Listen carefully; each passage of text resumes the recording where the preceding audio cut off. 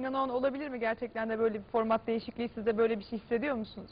Aa, Hissediyorum, maalesef hissediyorum. Ee, Zaten Ermenistan'la ilişkilerin düzeltilmesi hususu uzun süreden beri tartışılıyordu. Özellikle Türkiye'nin sınırları dışarısında tartışılıyordu. Bunun için bir ortam aranıyordu. Aslında Kafkas İstikrar Paktı önerisi de tam da buna uyuyor. Bu öneriyle ne Azerbaycan ve Ermenistan arasındaki Dağlık Karabağ ihtilafını çözebilirsiniz, ne bu e, platformda Gürcistan'la Rusya'yı bir araya getirebilirsiniz. Bu platformda gelse gelse Türkiye ile Ermenistan bir araya gelecektir. Nitekim onun e, adımlarında atıldığını görüyorsunuz. Türkiye e, burada e, ciddi bir e, hesap hatası içerisindedir. Cumhurbaşkanı Gül e, çok büyük bir ihtimalle Erivan'a gidecektir. Düşünün Türkiye Cumhurbaşkanı'na ben Erivan'a gittim biliyorum. E, Ermenistan halkının ne kadar e, duygularıyla, bilinçaltıyla hareket ettiğini gayet yakından şahidim. Bir üniversitede e, konferansa davet etmişlerdi. E, sınıfa girdiğimde bütün üniversite öğrencileri protesto etti beni. Neredeyse döveceklerdi. Yani iş o aşamaya geldi ama bir süre sonra e, bir takım şeyleri anlatınca bunların bir kısmının ikna olduğunu görüyorsunuz. Dolayısıyla böyle bir ortamda Türkiye Cumhurbaşkanı'na orada yapılacak herhangi bir olumsuz hareket iki ülkeyi savaşın eşiğine getirebilir. Biliyorsunuz çok değil daha Nisan ayında Ermenistan'daki o, o anıt dedikleri yerde Türk bayrağına yapılan hareketi hepimiz e, gözlerimizle gördük. Benzer bir hareketin yapıldığını düşünün. Dolayısıyla çok ciddi bir risk taşıyan e, Cumhurbaşkanı gibi devletin en ve Cumhur, Cumhurbaşkanı gibi. hem de Tamam Ermenistan'la bir takım adımların atılması gerekir. E, bundan e, bununla alakalı spordan sorumlu devlet bakanı var. O gitseydi. Ha, Dışişleri Bakanı bile değil. Bir de Ermenistan hangi adımı attı ki siz gidiyorsunuz? Ne yaptı? Türkiye'nin sınırlarını mı tanıdı? Türkiye'ye karşı sözde o soykırım iddialarından mı vazgeçti? Dağlık Karabağ'dan mı? Bir, bir tek maça davet etti. Yani başka hiçbir şey yapmış. Başka hiçbir şey yapmış değil maalesef. Dolayısıyla e, dün bir Azerbaycan televizyon kanalından e, bağlanmışlardı bu konudaki e, fikrimizi soruyorlardı. Oradan da hissettiğim kadarıyla Azerbaycan'da çok ciddi bir e, endişe var bu konuda. Zira Sayın Latiner'in bu arada e, espri mi yaptınız yoksa ciddi miydi? Hakikaten maça davet etmek bir e, diplomatik adım gibi e, algılanması gereken bir durum mu? İki tane gelişme var yani. Bir maça davet etti. İkincisi de Rus tankları Gürcistan'ı ezdi.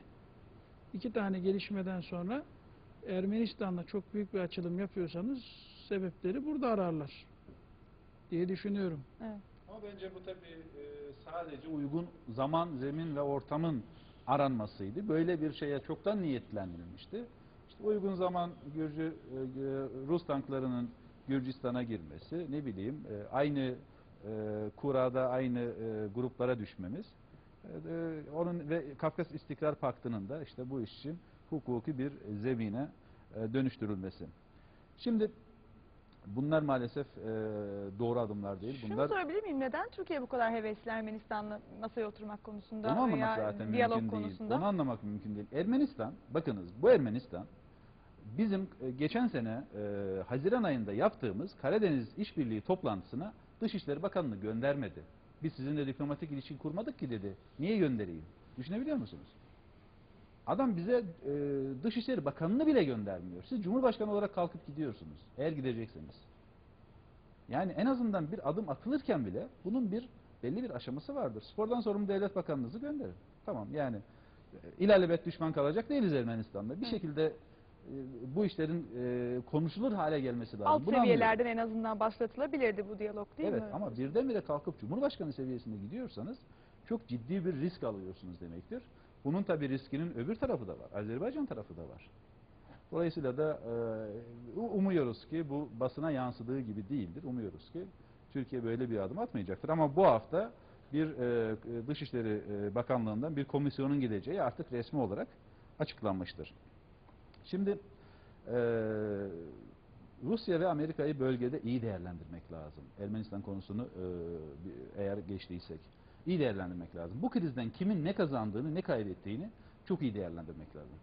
Bakınız bu kriz sebebiyle Gürcistan fazlalıklarından kurtulmuştur. Çok net, net ifade ediyorum. Ossetya ve Güney Ossetya ve e, Abhazya Gürcistan için aslında fazlalıktı. Ve Gürcistan bir şekilde bundan resmi bir şekilde kurtulmanın yolunu arıyordu. Çünkü halkına kalkıp ben bu işten vazgeçtim, onlara bağımsızlığını verdim diyemeyeceğine göre bu işten kurtulmuştur. Rusya bu vesileyle Kosova'nın intikamını almıştır. Rusya bu vesileyle Kafkasya ve Orta Asya Cumhuriyetlerine Amerikan ipiyle kuyuya inilmeyeceğini göstermiştir. Rusya bu vesileyle çok kutuplu dünyayı konuşmaya başlamıştır. Rusya bu vesileyle e, artık bölge dışına taşmaya, Venezuela'ya, Suriye'ye, Kuzey Kore'ye dikkat ederseniz Kuzey Kore'de bu krizin hemen ertesinde nükleer çalışmalarını biliyorsunuz askıya almıştı. Onu yeniden gözden geçirdiğini ifade etti. Amerika'ya bakıyorsunuz. Amerika uzun süredir Karadeniz'e giremiyordu. Tamam Montreux çerçevesinde e, de, göndermesi mümkündü ama bugün Amerika'nın Montreux'den izin alarak Montreux içerisinde tamamen Montreux'e uyarak girmesi başka bir anlam ifade ediyor. Neti- Siyasi siyasi olarak Amerika artık Karadeniz'dedir. Yani neticesinde tüm aktörler bir mesafe kat etmiş oldular. Her biri birer kazanç yazdırmış oldu kendi hanesine. Süremiz yavaş yavaş sonuna e, geliyor. Türkiye ne yaptı ve bundan sonra ne yapmalı? Çok kısa bir değerlendirme alıp toparlayalım. Ee, Türkiye Türkiye'nin tarafsız kalması mümkündür. Bu krizde taraflar aşağı yukarı belirlenmiştir. Türkiye'nin tarafsız kalması Türkiye için en optimal, en mantıklı çözümdür. Burada iki konuyu özellikle vurgulamak istiyorum. Savaşın başlangıcında Amerika sessiz kaldı. Özellikle sessiz kaldığını düşünüyorum. Sessiz kaldı onun, onun için ki Rusya Gürcistan'ı biraz hırpalasın ki benim daha sonra Rusya'nın yavaş yavaş etki alanına giren hem Avrupa Birliği ülkelerinin hem eski Doğu Avrupa ülkelerinin artık Rusya karşıtlığını onları belli bir safta toplayabileyim. Bugün bu kriz vesilesiyle başlangıçta tersini düşünmemize rağmen bugün gelinen noktada aslında bu krizin Türkiye açısından fırsatlar da yarattığını ifade etmek lazım. Karadeniz'e ABD'nin girmesiyle Türkiye kayba uğramıştır. Rusya ile bir takım gerginlikler yaşamıştır. Ama Kafkasya'da Dağlık Karabağ sorununun bu kriz vesilesiyle Avrupa Birliği'nin yeniden gündemine gelebileceği kanaatindeyim. Aslında tersi bir gözükmesine rağmen Avrupa Birliği'nin ve Batı'nın Gürcistan'ın toprak bütünlüğündeki ısrarcı vurgularının aynı şekilde Dağlık Karabağ'a da yansıyacağı kanaatindeyim. Dolayısıyla başlangıçta bu krizden kayıpla çıktıkmış gibi gözüken Dağlık Karabağ'ın aslında Azerbaycan açısından diyorum. Azerbaycan açısından Dağlık Karabağ konusunda olumlu bir netice vermiştir. Bir diğer olumlu netice de Nabucco projesidir.